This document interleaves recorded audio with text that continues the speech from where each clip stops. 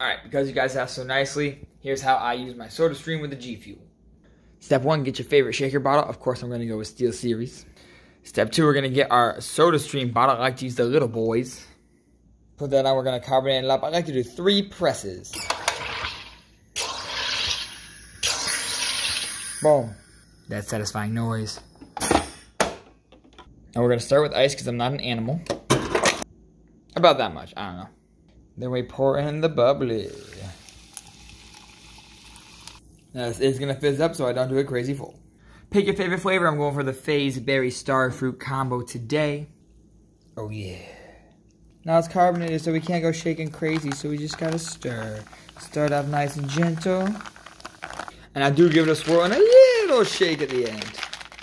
Let's see how we did. Oh, yes. And enjoy.